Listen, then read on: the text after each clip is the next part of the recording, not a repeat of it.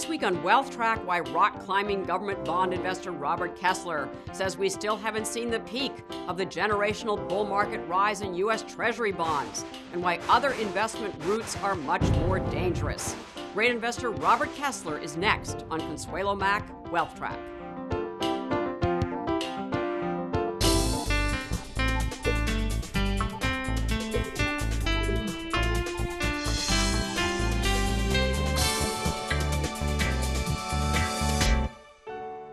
The company you keep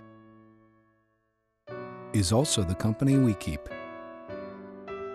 Together, we help provide a lifetime of guaranteed income and investment solutions. Hello, I'm Consuelo Mack. I want to tell you about a new opportunity to watch Consuelo Mack Wealth Track before the program appears on public television. As a subscriber, you can see programs 48 hours in advance of the general public and also find timely interviews and commentaries exclusive to WealthTrack Premium subscribers. If you're interested, just go to wealthtrack.com for more information. Thank you.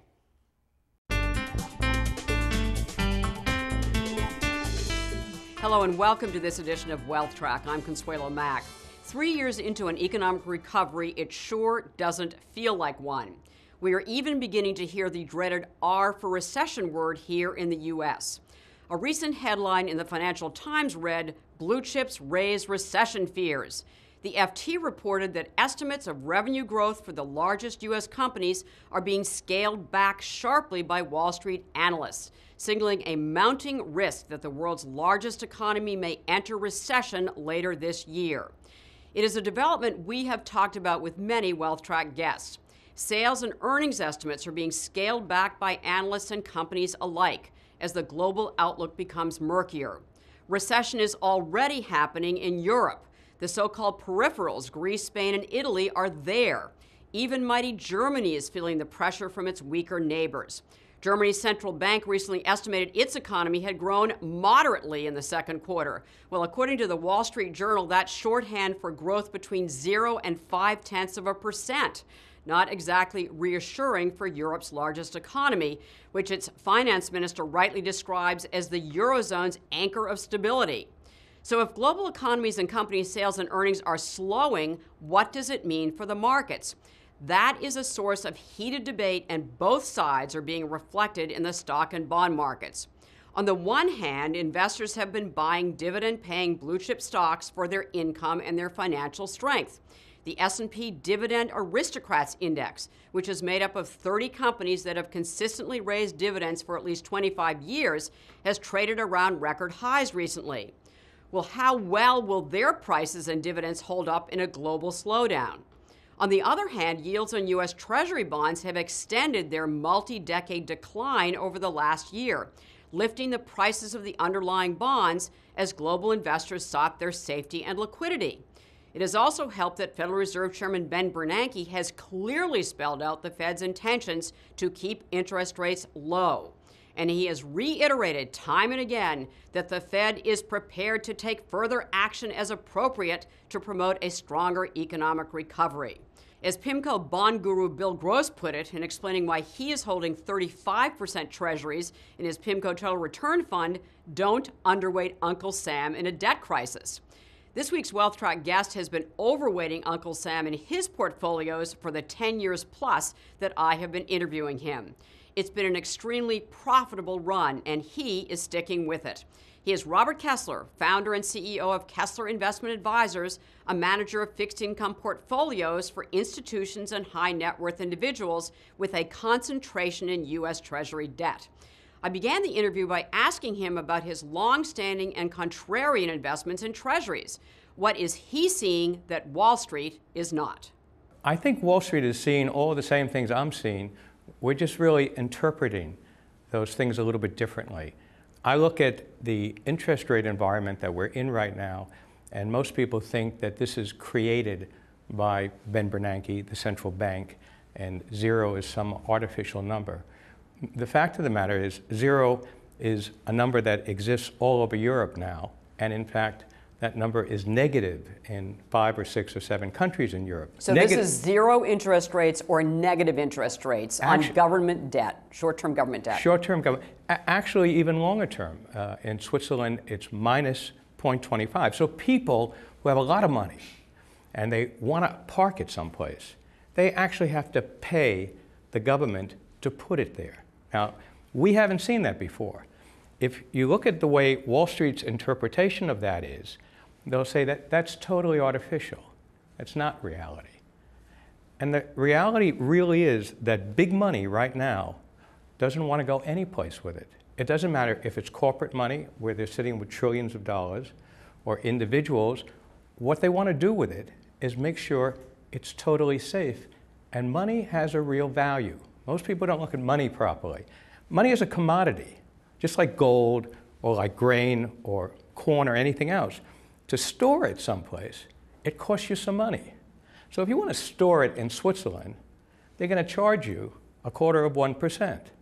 When we look at zero in the United States, to make this really interesting, and people say, well, what do you think interest rates really are going?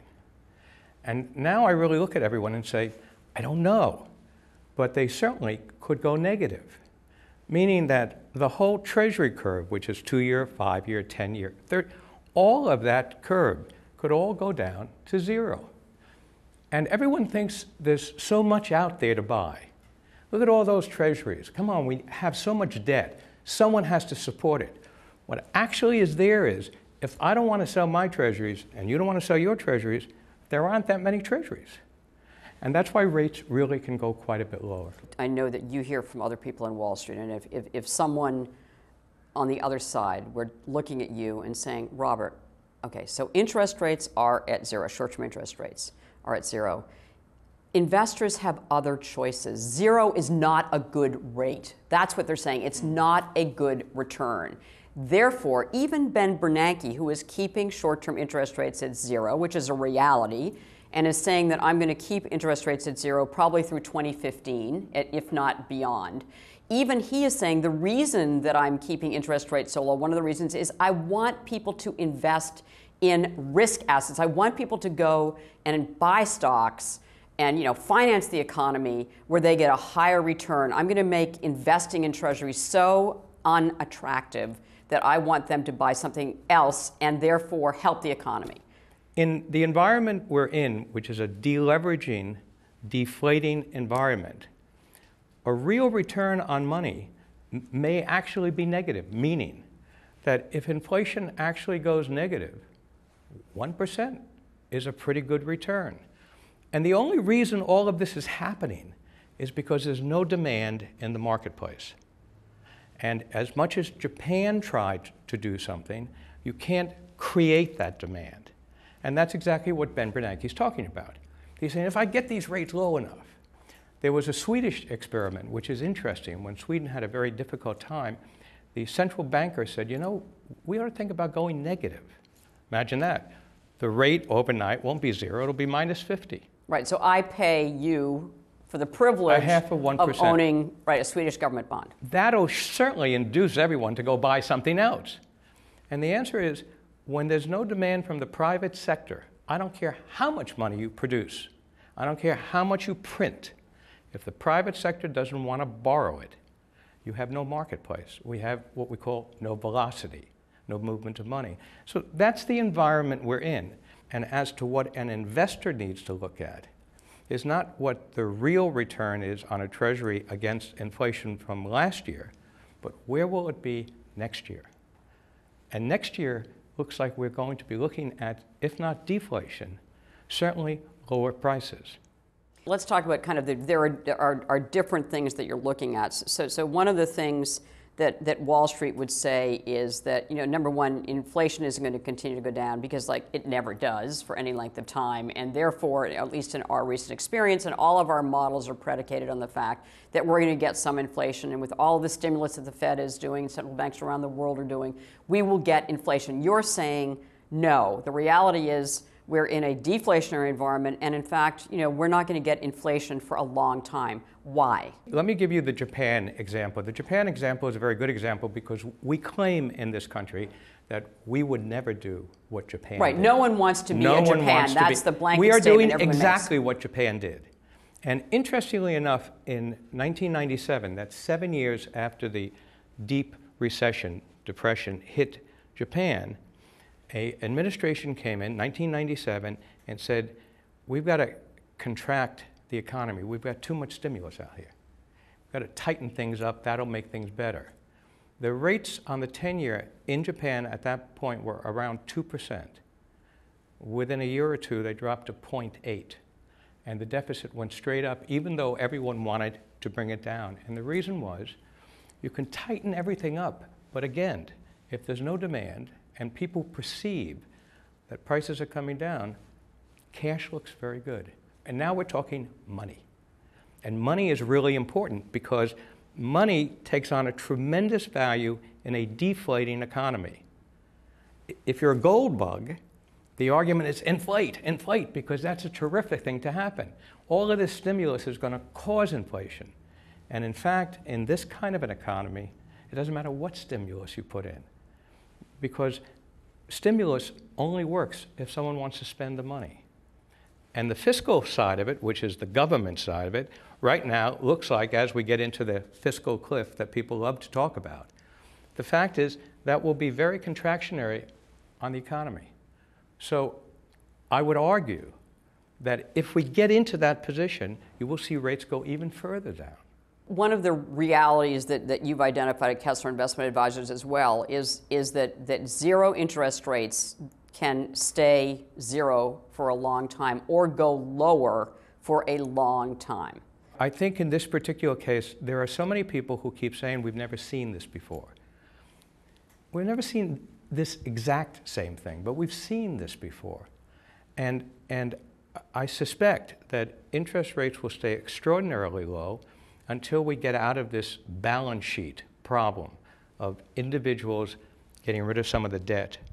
25% of homeowners are underwater. You have this huge unemployment problem, and the number that came out today, the Philadelphia Fed Index, actually had an employment number that would suggest in this month coming up on the employment news that employment could go negative again. The argument has been quantitative. You mean job growth could job go growth negative, can, right? will go negative. If you stop and think about how serious that is, we've had quantitative easing one, quantitative easing two, and probably something more. None of that has helped. And that's simply because money is going no place. And the people who have it are buying whatever sovereign they feel safest in. Another reality that, that you have identified at, at Kessler Investment Advisors is that instead of what Wall Street is telling you, I'm going to make you money, and that the traditional investments that make money, like stocks that have over the last you know 40 years, whatever it is, the post World War II period, that in fact um, that investors are saying, no, no, no, you don't understand. My first principle is I don't want to lose money. We have a, an enormous number of investors leaving the stock market now and going into fixed income. Uh, obviously, they feel that that's too volatile, and that slow transition is probably going to continue for some time. But the concept of an investor saying, I don't want to lose money, it usually means I want to make a lot of money, but I don't want to lose any money. And you have to be able to explain to make a lot of money, you're going to be at risk to lose a lot of money. I would suggest the big problem we all seem to have is we can't distinguish between a savings account, your pension account, your IRA, and an investment account. And you're saying it's very important to differentiate between your investing and your savings. What's the difference? The purpose of a savings account, as we all grew up and we saved something, is to know it'll be there. So obviously the return isn't important, it's the return of the money. And, and so I look at a savings account or a pension account, you cannot lose there. And that's why I've suggested for years that you buy a zero coupon US Treasury, meaning that the Treasury will pay off in a certain period of time because you have to have that money. That's a savings account. An investment account is have a good time. The odds are, these days, for the last 10 years, no one has made any money in the stock market. Unless you happen to buy at the right time, sell at the right time, and buy. And none of us do that. We're all random buyers, and so we all make mistakes. So the, the average person really doesn't distinguish between those two pockets of money. And I would suggest that's becoming very relevant now.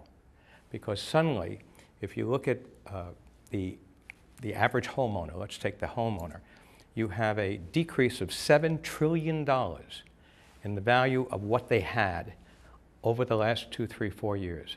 $7 trillion, an enormous amount of money. And if you look at their median net worth of that same homeowner, it's gone from $126,000, that's the average person, down to 77. That means they lost 39% of their money, of what they really thought they had. So all of these questions become extremely relevant if we talk reality. And I think that's what we should be talking. The fact that rates are coming down all over the world gives fuel to the argument on the other side, and that is I can't tell you how many people have told me that somewhere around 60% of the companies in the S&P 500 now are offering dividend yields that are greater than the yields on the 10-year treasury note and this is a once in a lifetime opportunity. And they should. And they should because everyone has done terrible with all of these companies. So they should give you some of your money back. But the best argument I can use is that these are the same companies that don't know what to do with the cash they have. And they're not out there buying any other companies. There are mergers going on, but they're not spending the money.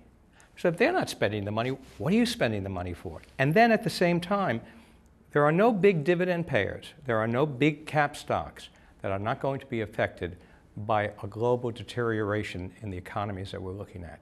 They all will be.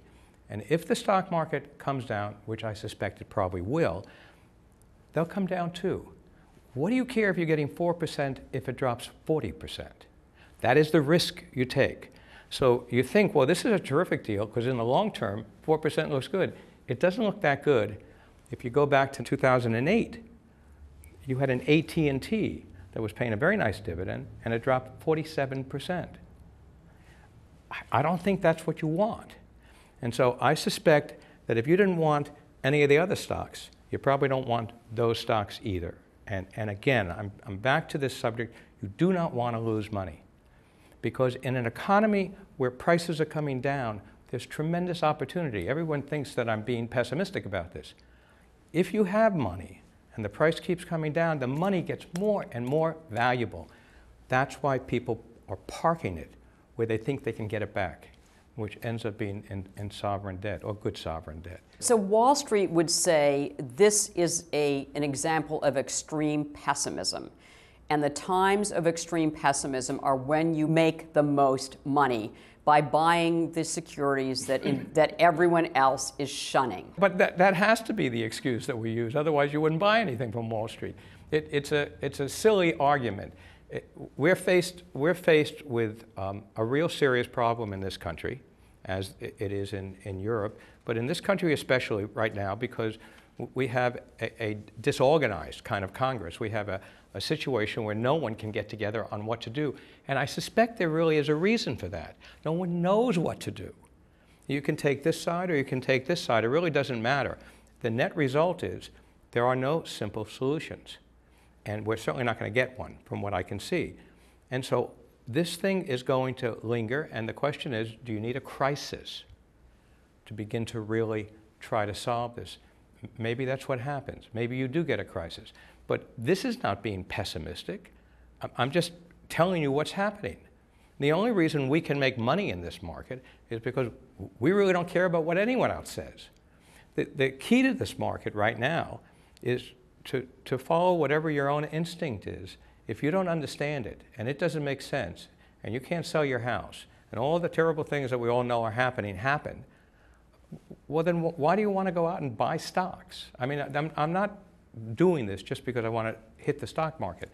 But this is a very serious period of time, and I don't think people are treating it as serious as they should. Most individuals in their retirement savings have gone the traditional route, and they certainly do not own a lot of Treasury securities. So, what are you advocating? That they basically, you know, liquidate, pay the taxes, everything, and put them into Treasuries? I mean, you know, what do, are what are our options? I'm going to do the same thing I did last time. You were kind enough to have me on the show, I think, at the end of last year, and I said, go out and buy long-term, 20-year.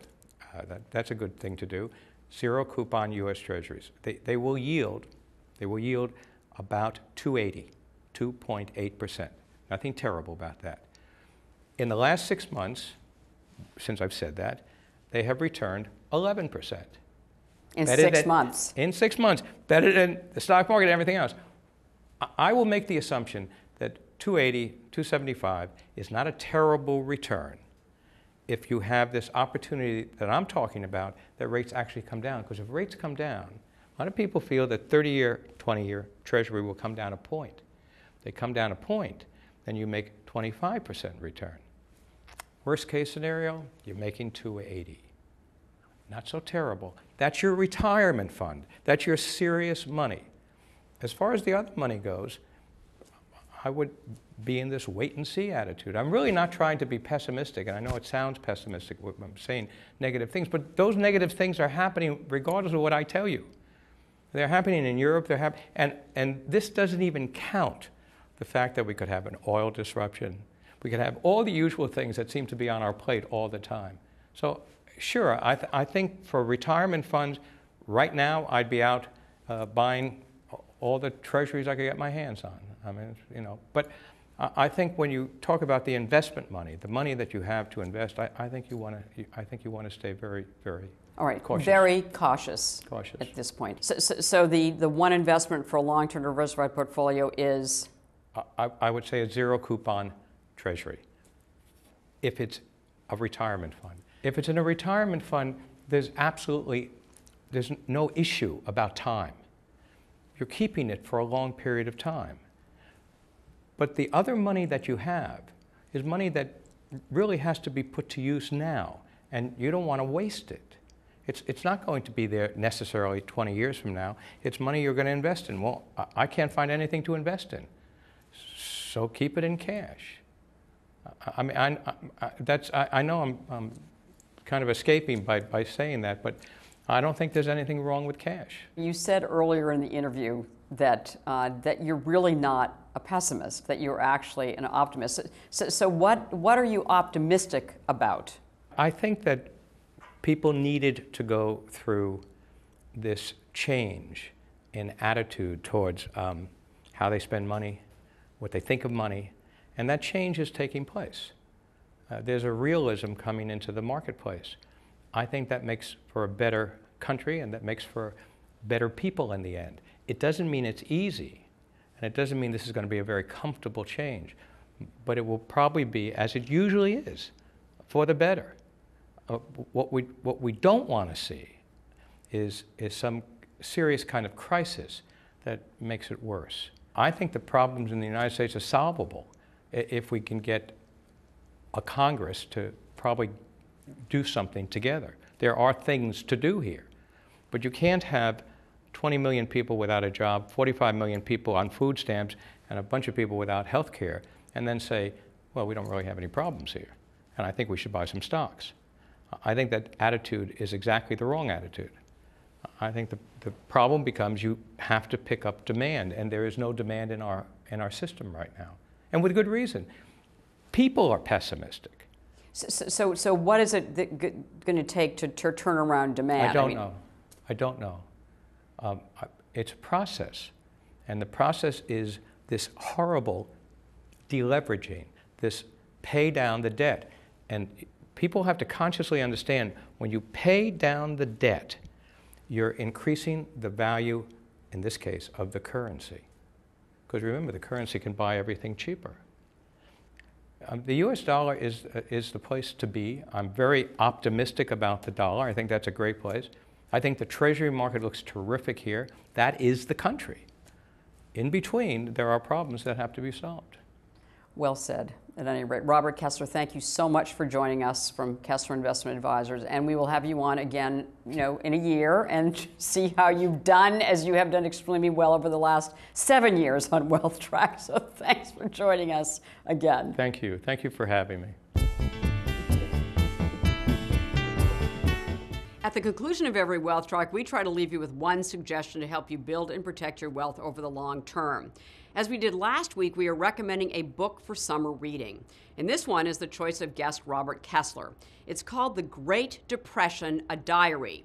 It's by Benjamin Roth, and it was published by his son in 2010, many years after his death. Roth's Diary is a compelling and eye opening account of the Depression seen through the eyes of an ordinary middle class American. You will recognize the policy debates about inflation, skepticism towards big government, and worries about too much stimulus that, as Kessler says, were prevalent, recurring, and in the end all wrong. You can make up your own mind. Well, I hope you can join us next week for a shocking discussion about the cost of investment fees. According to our two guests, legendary financial consultant Charles Ellis, who is exclusive to WealthTrack, and top financial advisor Mark Cortazzo, fees are much higher than you think. They'll tell us how to fight back. If you would like to watch this program again, please go to our website, wealthtrack.com. It will be available as a podcast or streaming video no later than Sunday evening. And that concludes this edition of Wealth Track. Thank you for watching. Have a great weekend and make the week ahead a profitable and a productive one.